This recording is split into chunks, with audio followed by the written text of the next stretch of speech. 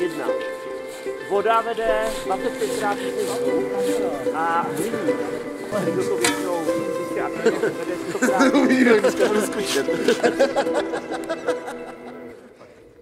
Lidi, děje se úplně úžasná věc. Právě teď probíhá historicky nulté nocování na sněhu na českém pólu chladu, na jednom ze dvou českých pólů chladu na osadě Jizerka. Tamhle jsou postavené stany. Někteří z těch lidí ještě nikdy v životě nespali na sněhu a dneska poprvé na sněhu spát budou. Je to vlastně první iniciační akce Svazu českých polárníků, což je možná možná pro někoho kravina, ale pro mě důležitá věc, kterou jsem vymyslel loni s několika mýma kamarádama. A vlastně mým cílem je dostat mezi lidi informaci, že stanovat na sněhu je normální záležitost, že vyspat se v minus, na dnešek tady bylo minus 22, tak vyspat se v minus 22 stupních je naprostá pohoda, člověk se krásně vyspí a ráno je mu parádně. A celkově mířím k tomu, aby se vlastně lidi u nás přestali bát zimy a aby třeba podobně jako ve Skandinávii úplně bez problémů vzal táta děcka a vyrazili třeba na dvě noci někam do lesa a zažili tu divočinu tak, jak ji člověk normálně nikdy nezažije. Takže právě teď český pol chladu, osada Jizerka, pravděpodobně bude minus 22 stupňů a tady, tady se bude odehrávat první nocovačka na sněhu.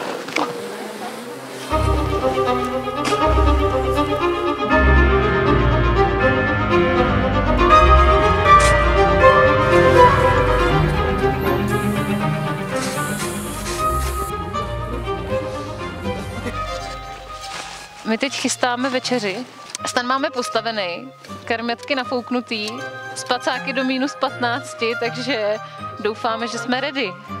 Ten se skvěl, savil skvěle, trvalo nám to tak maximálně 15 minut, tak jsem na to zvědavá. Budeme si navzájem všichni fandit. Hele, tak jsem si tady postavil ty, ten stan, věřím Petrovi teda, jo, protože eh, říká, že v tom stanu vevnitř bude jenom tolik, kolik je venku.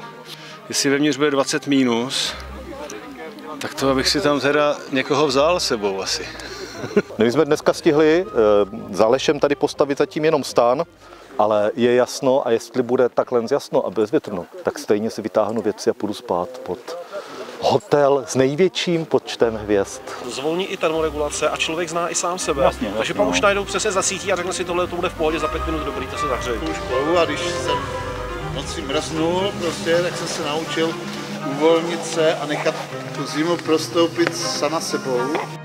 No, ale tak pojďte vařit. Normálně. vařit. No, no, si ty svý sáčky. Přesně tak, rozpustit sníh.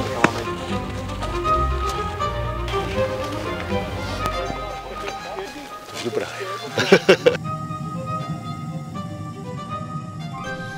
Partnerská firma přivezla bedny speciální výbavy, abychom měli jistotu, že všichni budou mít kvalitní a spolehlivou výzbroj i výstroj. Pánové z horské služby drželi zatopeno v horské chatě, aby v případě, že někdo nebude zvládat, bylo možné udělat pár kroků a lehnout si do postele. Stačilo říct u dveří heslo, já jsem máslo, já to nedám. A nikdo, opakují, nikdo to nevzdal. Abychom se rozuměli, Svaz českých polárníků není žádná hra na elitní partičku dobrodruhů. Vůbec ne. Naopak, je to nadšenecké združení, jehož cílem je šířit dál dobrý bacil lásky k zimnímu táboření a putování. Každý, kdo zvládne noc na sněhu pod nulou, má právo napsat si o průkazku. Je to hlavně míněno jako třeba motivace pro děti, aby je bavilo vyrazit s rodiči na zimní výlet a pak mít důkaz, že se z nich stali polárníci.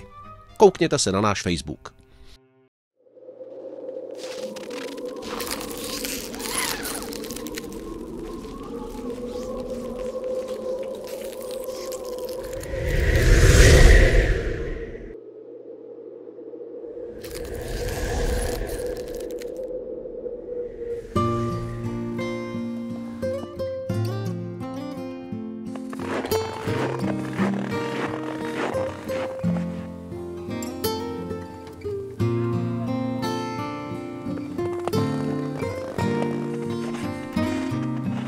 Dobré ranko. Dobrý ráno, prý minus 22.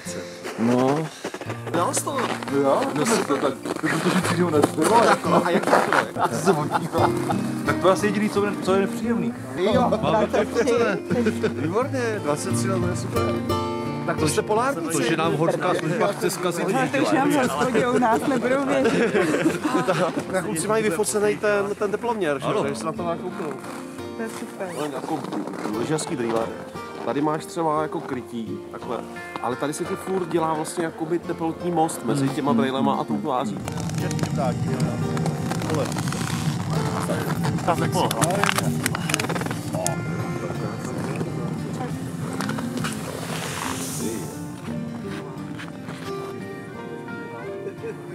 Mám.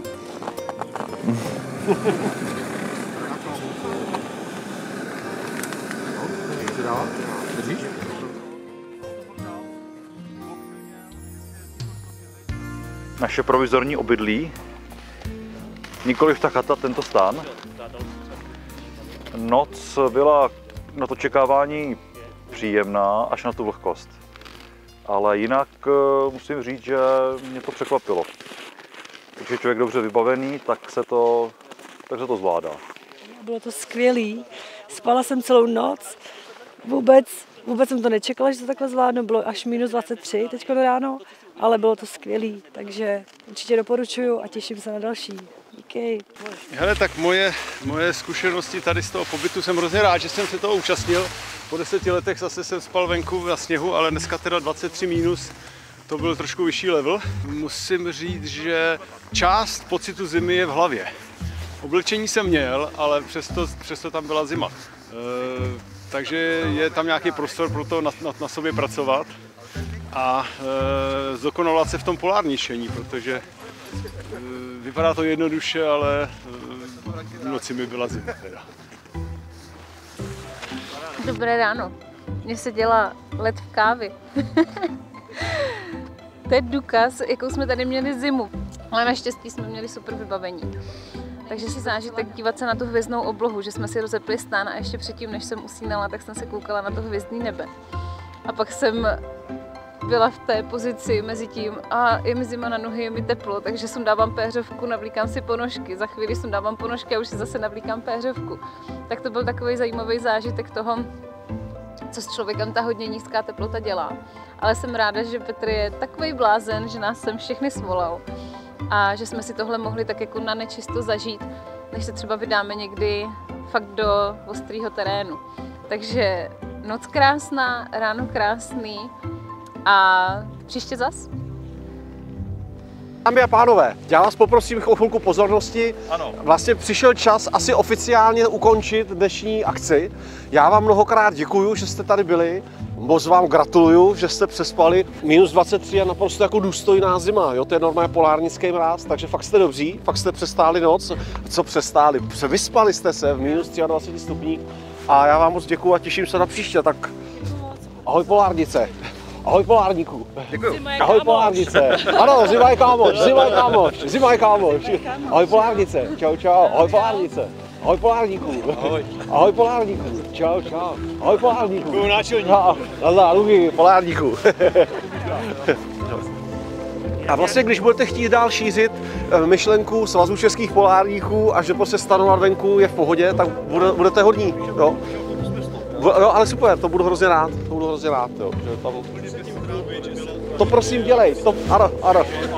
tak to je celé. Eh, Nultý ročník nocovačky na sněhu je hotov. Eh, Svaz českých polárníků žije nějakou aktivitou. Sláva, zima je kámoš, zima je kámoš, jo.